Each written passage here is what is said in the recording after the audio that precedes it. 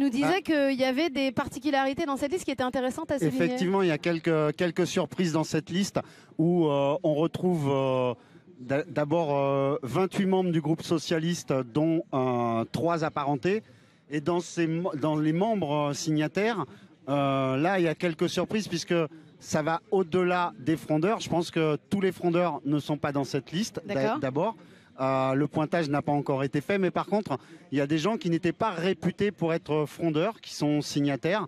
Alors, euh, c'est le cas euh, de Yann Gallu et d'Alexis Bachelet qui étaient au Congrès dans, dans une- sur une autre motion et qui jusqu'ici n'avaient pas voté spécialement contre les projets du gouvernement, à part contre la déchéance de nationalité. D'accord on retrouve aussi des députés beaucoup plus anonymes qu'on n'a pas beaucoup remarqué jusqu'ici, comme euh, Christophe Léonard, euh, Suzanne Tallard. Euh, mais ce que j'ai remarqué en essayant de savoir quels étaient un peu ces députés, c'est que beaucoup sont issus de circonscriptions qu'on pourrait dire très ouvrières et populaires. Élus par des ouvriers donc et des gens qui seront fondamentalement Voilà. contre cette loi travail. Et je pense que ça, ça fait partie aussi des, des motivations. Des députés qui, des députés qui ont, à ce moment-là, essayé de penser un peu euh, aux personnes qu'ils représentaient et euh, à la gravité de cette loi quant à leurs conditions de vie euh, ultérieures. Cette loi va avoir des répercussions énormes sur le quotidien de- des gens modestes. Et c'est la raison pour laquelle, quel que soit le moyen, il faut s'y opposer. Le gouvernement, d'ailleurs, on le voit, que ce soit dans la rue ou à l'Assemblée, ne recule devant aucun moyen pour imposer cette loi. Je ne vois pas pourquoi euh, des députés se poseraient euh, des questions sur le fait de voter euh, la motion de censure proposée par la droite, puisque c'est le seul moyen qui leur est donné de refuser et de rejeter la loi travail. Oui, disons qu'on n'est pas dans une situation où on peut se permettre de chipoter sur le fait qu'on aurait préféré certes voter une motion de censure de gauche, mais si la motion de censure de droite est la seule, on entend partout s'élever des voix qui disent mais attention, vous allez mettre en danger le gouvernement, ça va être la porte ouverte à la droite. Euh, Comment peut-on encore vouloir finalement d'un gouvernement qui ne respecte pas les citoyens qui sont censés le mettre au pouvoir et ne respecte surtout pas la séparation des pouvoirs qui permet à l'Assemblée de quand même s'affronter, de débattre euh, autour d'un projet de loi, surtout quand il est aussi important que celui-ci Oui, rappelons aussi que le gouvernement n'avait euh, eu euh, aucun scrupule à faire passer la déchéance de nationalité à l'Assemblée nationale avec les voix de la droite. Oui, bien Donc, sûr. euh, Finalement, on appelle ça, c'est- je ne sais plus qui a dit ça aujourd'hui à l'antenne, je trouvais ça intéressant, c'était une des répliques justement de, de- de la gauche et des frondeurs, qu'on- parce que Myriam El Khomri a pris la parole aujourd'hui avec un discours un peu huilé, qui semble écrit par les communicants de Valls, en disant euh, Attention, si vous votez comme la droite, vous êtes des élus de droite. Euh, on appelle ça l'alliance nationale quand c'est des lois qui arrangent le gouvernement, et d'un seul coup, c'est de la dissidence dangereuse quand il s'agit de voter des choses qui vont à leur encontre. J'ajoute qu'au sein même du gouvernement, et euh, je pense que Manuel Valls est euh, sur cette idée, euh, on entend des gens comme euh, Jean-Marie Le Guen, euh, le, ministre des Relations avec le Parlement, dire que en 2017, hein, il faudra gouverner avec des gens de droite, hein, parce que ça sera la seule solution pour s'opposer à Marine Le Pen. Donc, qu'il gouverne avec des gens de droite ou qu'il se rallie à un futur président qui serait de droite, c'est la même chose. Et on ne voit pas pourquoi ces gens aujourd'hui reprocheraient euh, un vote qui n'est jamais qu'un vote contre. Et puis surtout, en fait, philosophiquement, je pense qu'il y a plein de gens que ça fait rire un peu ces appellations droite-gauche qui nous semblent un peu obsolètes aujourd'hui. Finalement, comment on peut dire qui est de droite ou de gauche? Je pense qu'il y a des centristes qui sont beaucoup plus à gauche que euh, certaines personnes euh, du gouvernement qui se revendiquent de gauche et qui finalement font passer On- des lois on- qui sont des calamités On pour le retrouve peuple. d'ailleurs dans, dans cette liste qui ra- rassemblait ceux qui voulaient s'opposer sur un- une base progressiste à, à- à la loi travail et euh, la refuser, la signature de Jean Lassalle, euh, qui euh, est un élu du MoDem, hein, même si il s'est toujours distingué par ses positions personnelles. Jean Lassalle, d'ailleurs, qui a rejoint hier les manifestants, qui est sorti de l'Assemblée nationale pour rejoindre le cortège. On l'a remercié sur Twitter on a été très touché par ce geste parce que effectivement c'est un député un peu particulier. Vous connaissez peut-être pas son nom, mais c'est ce, ce député qui avait fait une marche en France pour aller rencontrer les gens, pour se faire une idée un peu plus proche de quelles étaient les revendications du terrain et quelles étaient les problématiques que les Français rencontraient. Donc c'est quelqu'un pour qui on peut avoir de l'estime et c'est pour ça que je dis que finalement, est-ce que les partis politiques aujourd'hui ça a encore du sens? Quand on voit que des affiliés au PS peuvent s'affronter autant sur des valeurs aussi fondamentales, est-ce que la gauche existe encore? Je parle du PS, évidemment. Et est-ce qu'on peut encore parler de, de séparation droite-gauche? Enfin, à titre personnel, euh, je ne qualifie plus le PS de, gauche. Euh, d'ailleurs, euh, l'article que j'ai mis en ligne tout à l'heure sur, sur Internet sur cette motion de censure, je titre La gauche manque de peu sa motion de censure parce que en dehors de ceux qui, ne, qui, qui, acceptent la loi travail, je ne vois pas comment ils peuvent encore se dire de gauche. Et euh, ce problème, on le retrouve euh, de manière récurrente hein, depuis quelques années. Euh, la, gauche, c'est pas le Parti socialiste, c'est le drame. C'est plus le Parti socialiste en tout cas. Oui, ce n'est plus le Parti socialiste. Le drame de, ce quinquennat, c'est que le, les dirigeants socialistes hein, ont volé nos mots quelque part. Et euh, nos mots AUX et mots OTS. Nos mots MOTS. Euh, on le voit régulièrement. Euh, bon, se réclamer du progrès, se réclamer, même ils se réclament de notre histoire. On les a vus commémorer le Front populaire. Le Front populaire, ce n'est pas réductible à une victoire électorale. Bien sûr. Et c'est ça qui est important, euh, je pense, à avoir en tête. Parce que le Front populaire a permis les avancées qui, euh, jusque-là, étaient le socle du, droit du travail en France. Et ils sont en train de piétiner ces avancées-là avec la loi qui est proposée euh, le, en Le Front populaire, c'était certes au départ un rassemblement des forces de gauche voulu par la rue, d'abord principalement pour combattre le fascisme mais euh, le programme du Front de gauche était le programme du Front populaire euh, était un programme minimal qui était ce qu'on pourrait dire un programme de second tour euh, qui, convenait aux radicaux donc qui eux étaient les, modérés de gauche de l'époque. Et finalement une fois à l'élection d'abord toutes les formations de gauche se sont présentées séparément au premier tour et se sont retrouvées au second tour et ensuite, une fois cette victoire électorale acquise, euh, un formidable mouvement de grève s'est déclenché dans tout le pays qui dure euh, de début mai jusqu'au 6 juin à peu près, dans lequel 12 euh, millions de grévistes occupent leurs usines. C'était nuit debout partout dans les entreprises en 1936, avec des gens qui faisaient, se faisaient des conférences, faisaient des fêtes, euh, oui, les balles, on parle de balles, Et tout ça pour obtenir finalement une radicalisation du programme et obtenir par leur lutte des choses qui n'étaient pas inscrites, que personne n'avait prévues, et notamment les deux semaines de congés payés. Parce que ça, c'était pas une revendication prévue au départ. Oui, donc le peuple a déjà dans l'histoire quand même réussi à faire bouger les lignes bah, politiques par des mouvements. Les élections ne, sont pas inutiles. On peut obtenir des choses par les élections à condition je dis bien à condition que la victoire soit accompagnée d'un mouvement populaire qui ne s'arrête pas au soir des élections, mais qui continue et qui continue, je devrais dire, toute une mandature. Parce que si vous avez des élus qui ne sont pas poussés au cul, euh, permettez-moi l'expression, vous n'obtiendrez jamais euh, que ces élus vous défendent. Euh, jusqu'au bout. Ils sont toujours dans des accommodements. On peut pas non plus être en grève permanente parce que les gens ont des vies aussi dont ils aimeraient profiter autrement que en étant dans une lutte perpétuelle. Disons que pour revenir au problème de la gauche, c'est que quand même il y a une dichotomie qui est très très forte entre ce qui a été annoncé et la réalité du pouvoir. On se demande si le problème n'est pas que François Hollande finalement peut-être de bonne foi, peut-être pas, euh, avait une assez mauvaise connaissance peut-être des outils qui étaient à sa disposition une fois arrivé en poste. En tout cas, on se rend compte qu'il a baissé les bras et qu'à force de vouloir faire consensus, il a trahi les gens qui l'ont élu. Quand même. Euh, François Hollande a euh, fait un quinquennat assez conforme à ce qu'il a toujours pensé, à ce qu'il n'a pas pu forcément mettre en avant, mais à ses idées profondes, qu'il exprimait d'ailleurs.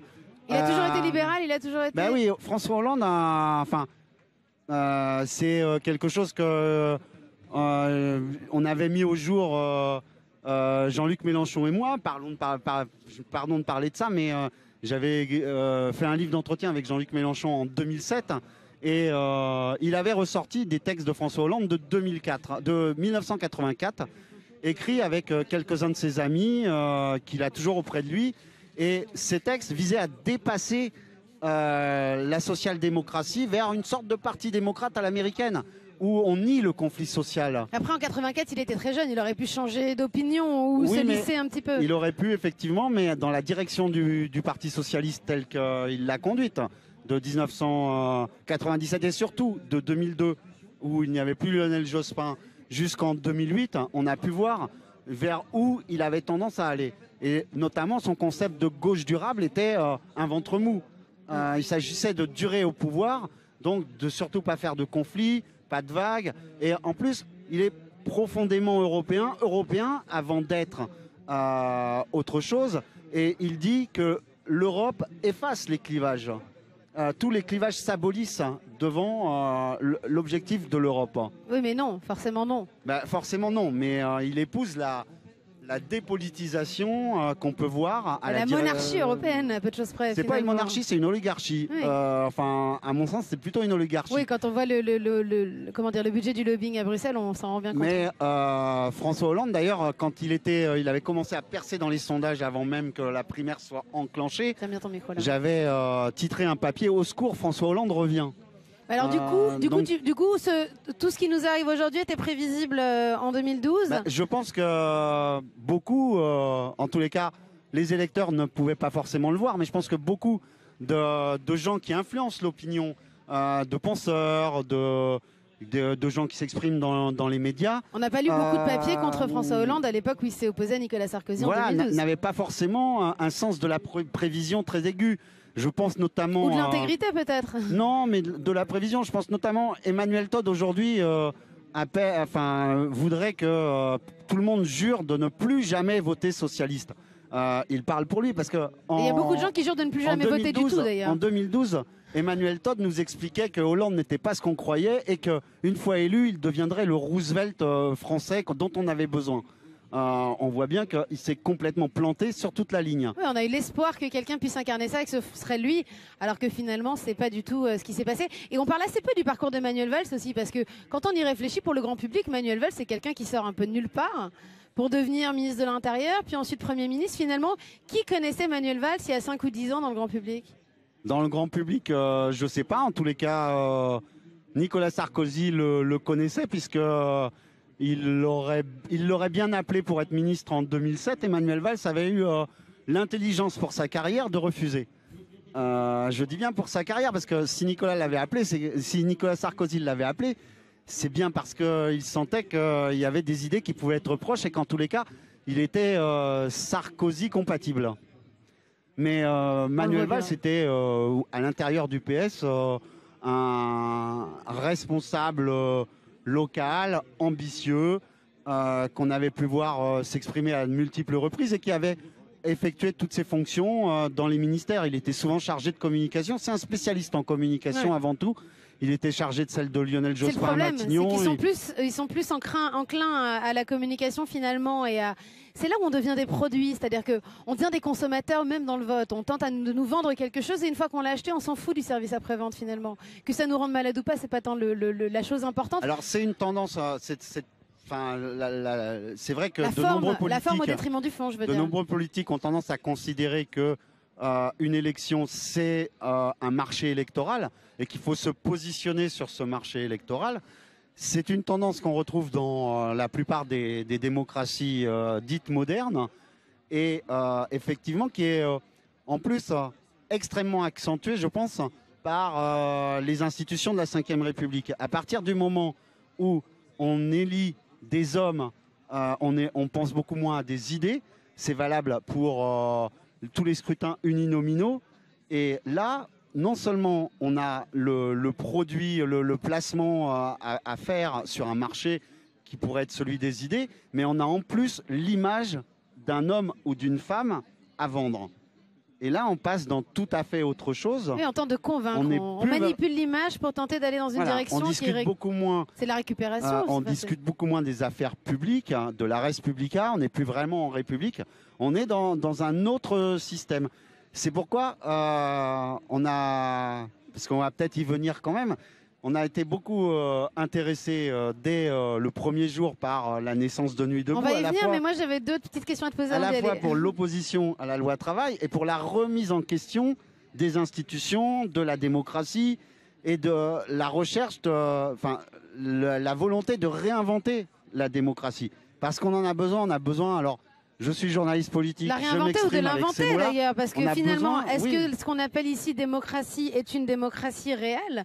Finalement, quand on interroge des, anthropologistes qui travaillent sur les civilisations grecques, etc., on parle de démocratie participative en Grèce, mais est-ce que la démocratie est réelle ou est-ce qu'on est dans une image, un semblant, euh, une case démocratique? Et on a un peu vidé les mots de leur sens aussi oui, oui. Est-ce que la démocratie, c'est le peuple par le peuple pour le peuple? Finalement, on se rend bien compte que à peu de choses près, surtout à une époque où les gens ont un accès à l'information qu'ils n'avaient pas avant, à une époque où, où effectivement on ne remettait pas en question ce que nous disaient les gens au pouvoir, on y croyait encore, mais est-ce qu'aujourd'hui, avec le nombre de dossiers, de casseroles, d'intérêts personnels qui sont mis en lumière, on peut encore croire que les gens au pouvoir sont majoritairement au pouvoir pour servir le peuple? C'est quand même difficile de le croire.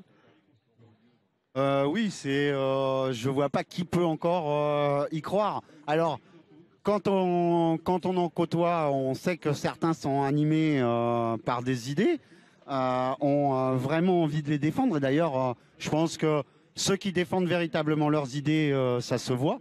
Ça finit par se voir parce que ce sont des gens de rupture, des gens qui peuvent paraître clivants, qui peuvent paraître des fois énervés ou excessifs, mais c'est des gens qui croient à ce qu'ils disent. Euh, ça, c'est, ça me semble quand même euh, un signe euh, que tout n'est pas perdu, qu'il y a possibilité de, bah, sans doute, de transformer les choses, parce que le, problème du système politique dans lequel on est, la, cinquième, c'est que pour le renverser, personnellement, dans, la, dans la société où on est, je ne vois pas d'autre solution que de parvenir à en prendre la tête. Oui, mais sauf que vu que les, les, les, candidats sont cooptés euh, par un système déjà politisé, c'est-à-dire les 500 signatures de maire font qu'il faut déjà être dans un univers politique, avoir déjà rendu des services à certaines personnes avant de pouvoir éventuellement proposer sa candidature. Il y a un moment où finalement quelqu'un de l'extérieur a très très peu de chances de pouvoir arriver euh, à un premier ou un second tour. Les chances sont effectivement difficiles. C'est aussi pour ça que les gens ne votent plus. C'est que finalement, on nous propose le moins, du pire au moins pire finalement et les gens ne, s'y reconnaissent pas. Les signatures de maires, c'est effectivement un obstacle difficile. En même temps, euh, les maires sont. Euh, euh, il y a 30, 34 500, 36 000 maires, enfin 36 000 signatures au moins possibles en France, parce qu'il n'y a pas que les maires qui peuvent signer, mais principalement tout le volant de petits maires, hein, les maires de petites communes, il y en a pas loin de 30 000. Euh, ces maires sont euh, finalement des citoyens euh, comme vous et moi. Oui, donc on peut C'est bien souvent des gens qui se dévouent à, une collectivité, qui ne, gagnent rien, que, les ministres et députés, passent un temps fou au service de leurs concitoyens, tirent le diable par la queue pour leur commune, se débattent avec des difficultés juridiques et ceux-là peuvent être touchés et peuvent par souci démocratique, parrainer des candidats qui n'ont pas forcément leurs idées. Euh, Donc tu penses qu'on ne peut pas changer cette, euh, cette République, on ne peut pas bouleverser ce système-là sans passer par l'élection présidentielle? Je pense que euh, si on veut rester dans des formes légales et un peu apaisées, non violentes, A-t-on déjà obtenu quelque chose sans, sans, rébellion? Non, il y a je dis sans, non violente, sans, dans le sens où euh, sans, euh, sans insurrection euh, qui mettrait le pays par terre. sans faire la commune. Ça ne veut pas dire sans mouvement, sans mouvement d'appui, sans mouvement social, sans qu'il y ait une insurrection civique qui soit derrière un candidat. Parce que ça, effectivement, mais si les gens ne euh, veulent plus être un candidat, par exemple, on va parler après de Nuit debout, même si je voulais juste qu'on vienne deux secondes sur ton sentiment sur la motion de censure de droite et savoir si elle a une chance de passer demain. Mais euh, ici, on se rend compte que, par exemple, sans avoir jamais vraiment voulu organiser les choses d'une façon ou d'une autre et en laissant les choses se mettre en place toutes seules, on arrivait très très vite à un refus absolu de l'horizontalité, qui est forcément un rejet de la verticalité en place.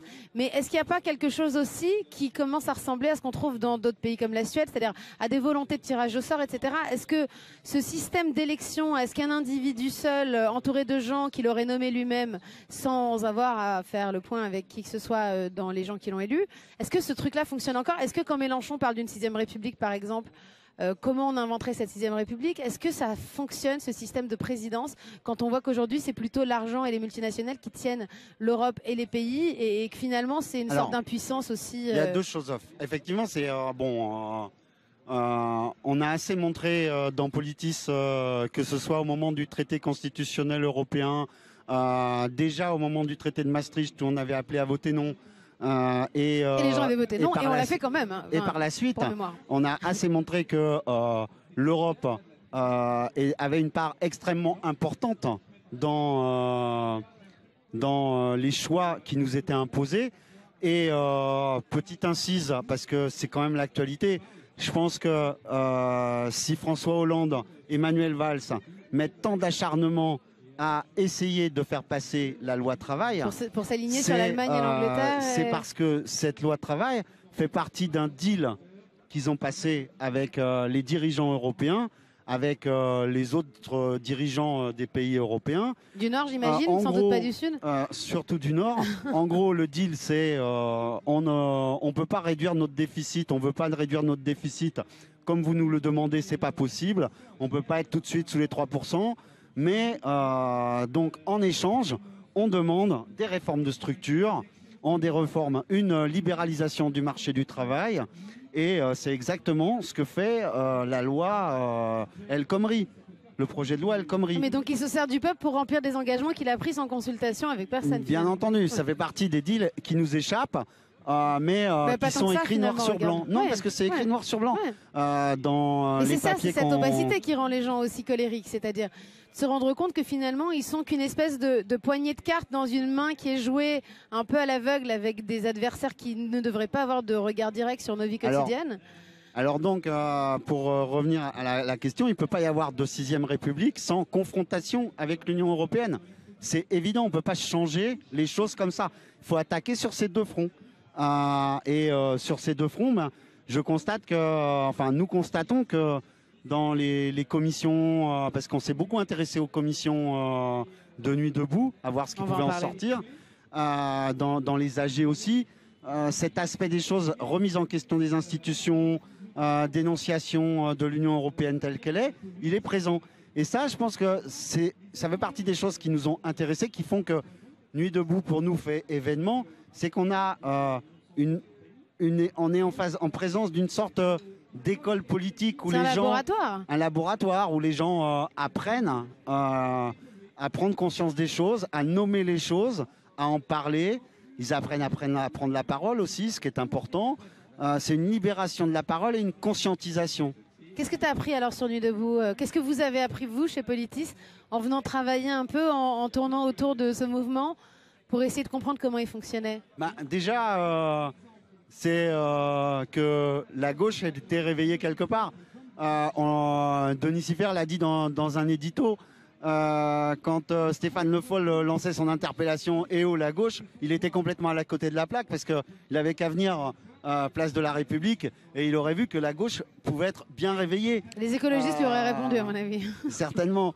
Donc, c'est ça qu'on a, qu'on a pu constater. Alors, c'est un bouillonnement on, sait que, on, enfin, on entend certains dire que ça ne débouche pour le moment sur rien, qu'on ne voit pas où est l'efficacité, mais on ne peut pas demander à euh, un mouvement euh, qui se crée, un mouvement euh, qui est une assemblée permanente, enfin qui est faite de multiples assemblées permanentes, d'avoir immédiatement un résultat que les partis politiques eux-mêmes sont incapables d'avoir. Mais surtout, c'est que je crois que vu que le principe de base n'est surtout pas d'aller dans les mêmes écueils que ceux de la société actuelle, euh, je pense que c'est plutôt bon signe de prendre son temps et de ne pas se définir trop vite, c'est-à-dire de se laisser le choix et la place, la largeur pour pouvoir se définir autrement. Mais la recherche de résultats, vu qu'elle ne fonctionne pas aujourd'hui dans les mains de nos gouvernements, je ne pense pas qu'elle fonctionnerait mieux ici pour nous de toute façon. Oui, ben, de toute façon. Euh, dans notre société, on est euh, Nuit debout, c'est beaucoup développé avec des des réseaux sociaux aussi qui permettent une instantanéité de l'information. Mais cette instantanéité de l'information ne doit pas nous faire perdre de vue, et c'est souvent ce qu'on rappelle que à Politis, c'est que le temps, ben, le temps ne disparaît pas pour autant, et il faut savoir prendre son temps il faut euh, euh, avoir des temporalités différentes. Et si Politis est euh, maintenant un journal bimédia, c'est aussi pour cette temporalité différente. On a une information rapide sur notre site internet, euh, le plus rapide possible compte tenu de nos faibles moyens.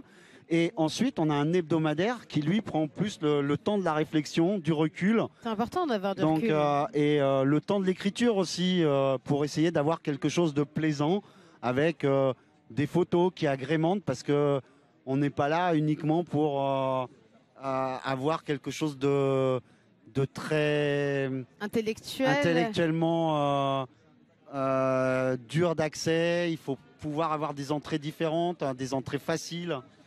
Oui, disons que ça peut, en plus le titre politis, effectivement, ça peut être, euh, être rébarbatif. C'est-à-dire des gens peuvent ne pas se sentir concernés ou se dire ça va être imbitable, je vais rien y comprendre, de toute façon c'est pas fait pour moi. Peut-être C'est des que... fois le reproche qu'on nous fait. C'est Oui, vrai mais en que même temps, c'est vrai que c'est difficile. C'est difficile d'écrire pour des gens. euh, C'est difficile d'être pointu tout en étant didactique finalement. Voilà, il faut savoir essayer d'être didactique. On n'y arrive pas forcément toujours. Je sais qu'un certain nombre de, de jeunes étudiants, des fois, nous reprochent de, de ne pas avoir euh, la, la culture suffisante euh, pour euh, comprendre tous nos papiers. Il pourrait y avoir Euh, une mais- chronique qui soit adressée. Mais euh, on essaye de faire des efforts, de se corriger régulièrement. Et en tous les cas, on a une équipe de, de jeunes journalistes aussi. C'est principalement eux qui ont suivi ce qui se passait à Nuit debout. Ils y sont venus aussi pour eux-mêmes d'abord, avant de- d'en rendre compte. Mais ils ont été assez vite intéressés. Pour certains enthousiasmés, d'autres sont plus critiques, c'est normal. On n'est pas une rédaction univoque. Euh, on n'a jamais été univoque. On est une rédaction qui euh, s'est toujours constituée euh, pour favoriser et, les, les débats au sein de la gauche sans être le journal d'un parti, d'un mouvement particulier. Sans chercher le consensus absolument quoi. Voilà, mais pour, pour faire naître le débat, oui. Mais c'est intéressant tout ça. Donc tu es content. Alors comment tu as été reçu par les médias de Nuit debout alors? Bon, par les médias de Nuit debout, j'ai pas particulièrement été mal reçu. J'ai euh, j'ai eu aucune difficulté quand je suis venu faire euh, des photos à travailler. Euh, j'ai pu me déplacer comme je voulais. J'ai rencontré aussi beaucoup de, de connaissances, de militants que je connais, de responsables politiques qui étaient là plus ou moins cognito, en tous les cas en observateur. C'est un peu tout ça que j'ai vu. et j'ai vu aussi que c'était bon, un, bordel revendiqué, mais souvent un joyeux bordel. Ben, disons que oui, c'est c'est comme un bouillon de culture, disons. Ça part un peu dans tous les sens au départ, mais c'est comme ça qu'on peut-être euh, à long terme se permet aussi de ne pas mettre de côté trop vite des idées qui pourraient être fondamentales par la suite. Donc euh, moi je pense que c'est toujours intéressant de prendre le temps au départ. Ensuite on verra ce que ça deviendra. On n'est pas obligé de le déterminer aujourd'hui, même si ça n'est qu'un outil qui permettra à certains de prendre conscience que des changements sont possibles à court, à moyen ou à long terme. Euh, on nous dit souvent, des sociologues, des philosophes qui viennent ici, nous disent souvent que tous ces mouvements dont on prend un peu la suite aussi, parce que finalement tout ça a commencé avec Occupy, et puis finalement il y a eu Podemos, il y a eu beaucoup de choses, il y a eu Syriza. Euh, cette vague de, mouvements sociaux où les gens euh, nécessitent, enfin ont ce besoin de se revendiquer acteurs et non pas juste spectateurs de leur vie, finalement ça changera les consciences qu'on le veuille ou pas. Ah oui, forcément. Euh, D'ailleurs, euh, dans le numéro euh, qui sort demain et qu'on peut consulter, Allez, on fait de la pub voilà. pour Politis. numéro qu'on peut consulter dès maintenant sur Internet si on a son code abonné ou si on est abonné. Euh, on, on le dit qu'il y aura un avant et un après. euh, alors on le dit pas forcément avec ces mots-là, mais euh, on, dit bien que si ça fait événement, c'est parce que justement il en restera des traces, qu'il y a quelque chose qui se passe. Euh, c'est ça dont on a essayé de rendre compte dès le, dé- dès le 31 mars, avec un premier papier écrit dans la nuit. D'ailleurs, je me souviens, j'en ai euh, que euh, le journaliste qui était rentré m'avait dit j'ai fait un papier là, mais est-ce qu'on le met en ligne demain ou pas Il était minuit et demi. Je lui ai dit écoute, si c'est nuit debout, je pense qu'ils sont pas couchés. Ils sont très intéressés de lire le papier et au bout d'une heure, le temps que ça se répande un peu sur les réseaux sociaux, il y avait déjà 200 personnes en train de lire l'article euh, en permanence. Le matin, on était monté à 650. On est rapide maintenant. hein. Donc, euh, On a les outils pour s'envoyer des choses, alors on est super rapide. euh, effectivement, quand les gens sont, sont debout, étaient en quête de savoir un peu ce qui se passait, Et c'est ce qu'on essaye de faire pour tous ceux qui sont pas sur place, parce qu'il y a quand même, bon, on a beaucoup de concitoyens, beaucoup de dans, dans tout le pays. Euh, qu'on peut informer aussi. on rappelle qu'il y a plus de 200 nuits debout en, France, hein, c'est pas Paris uniquement. Ça aussi. C'est parti de Paris, mais ça, ça, va ailleurs dans le monde, euh, etc. Il y a des nuits debout partout dans le monde. Si des fois ça paraît un peu s'essouffler à Paris, euh, on voit que ailleurs, il y en a des nouvelles qui se créent. mais nous, ça s'essoufflait pas, on était encore 3000 avant-hier. Là, c'est particulier parce qu'il y a l'Assemblée, c'est vrai. Donc, c'est une fausse impression, on a entendu ça. Hmm. C'est une fausse impression qu'on contrebalance. Euh, on, a fait des vidéos, on a notamment une très jolie vidéo euh, du concert de samedi dernier. Qui vont revenir, hein, qui vont revenir, oui. Euh, donc on avait des, journalistes motivés pour, pour ça. Et on a aussi présenté le résultat d'une étude sociologique un peu partielle qui a été faite sur les composants, mais qui renseigne. Parce en fait, je suis la cible à peu près. on essaye quand même de. Mais ça me fait plaisir parce que c'est des 35 ans, tu vois, par exemple, et pas, euh, pas des 25. En gros, c'était un article, et on avait vu des, des, filles qui se disaient du CNRS, en tout cas, je ne sais pas, qui avaient à un moment donné fait remplir des fiches aux gens qui prenaient la parole en AG, puis aux gens qui étaient dans les salles pour voir à peu près quels étaient les composants de Nuit debout euh, Paris. Je pense qu'il en fait qu'à Paris. Donc il y a un article que vous pouvez trouver en ligne sur Politis qui euh, fait à peu près le portrait robot de la personne qui vient en place de la République. Donc c'est quelqu'un qui a plutôt 35 ans, euh, qui est plutôt au chômage pour avoir la disponibilité nécessaire, qui est plutôt de gauche. Effectivement, c'est vrai qu'on est rare euh, à être du FN ici. Et, c'était à peu près ça en fait, les caractéristiques. oui, qui avait des diplômes. Ah non, alors c'est pas mon cas. Moi j'ai un bac, moi, un bac moins 2. Je suis l'erreur. Mais bon, c'est un, portrait robot et comme tous les portraits robots, euh, il y a du vrai et euh, c'est qu'une moyenne.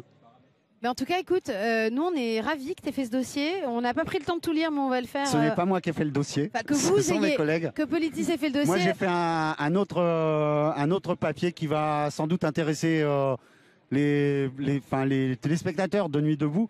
C'est un, un, papier de deux pages sur la violence policière et le jeu dangereux du gouvernement parce que ça touche Nuit Debout. Nuit, Debout a été plusieurs fois victime de, violences de ce type. Il y a des témoignages de policiers maintenant. Aussi hein, les, ça touche aussi euh, beaucoup les, manifestants euh, femmes, contre la loi travail qui ne sont pas tous Nuit Debout. Et euh, voilà, il y a, ça pose un véritable problème de société. Ensuite, je sais que quelques-uns sont sensibles à ça. Le, dossier d'Ampolitis, qui est un, un peu moins épais, mais tout aussi important, est consacré cette semaine à la campagne de boycott euh, des produits euh, euh, d'Israël et à la tentative d'empêcher les gens de faire campagne, alors que le boycott est une tradition de la gauche. Là encore, le gouvernement est véritablement à côté de sa famille politique. on a fait des boycotts contre les produits sud-africains du temps de l'apartheid. Euh, on a fait euh, des produits, des boycotts contre des sociétés. Et euh, on le fait je, toujours On ne comprend pas au nom de quoi, mais on explique pourquoi, par contre, le boycott peut être une arme pour changer la situation là-bas. Alors donc rendez-vous sur politis.fr, je crois? Politis.fr. Allez voir ces dossiers-là. Donc c'était Michel Soudès si vous voulez lire ces articles à lui et puis lui répondre hein, d'ailleurs si vous avez des remarques. Bon alors comment on te reçoit chez TV Debout, ça va? C'est sympa. Euh, bon, euh, le fauteuil n'est pas forcément très confortable. Je t'ai donné le meilleur des deux. Hein. Mais je dois dire que euh, quand je vais sur d'autres plateaux télé, ça arrive rarement, mais ça arrive. Je remercie LCI et Public Sénat qui m'invitent ah, de temps Sénat, en temps. nous on les remercie pas du tout. Ils nous ont rejetés il y a quelques temps. Là, bah, les tabourets sont pas forcément plus plus confortables. on n'est jamais dans un fauteuil sur un plateau de télé. Là, on est en plein air. Euh, c'est l'aspect sympathique aussi euh, Autant que tu ne te souviennes que du tabouret. On va retourner en AG. Merci Michel d'être venu nous voir et puis reviens quand tu veux.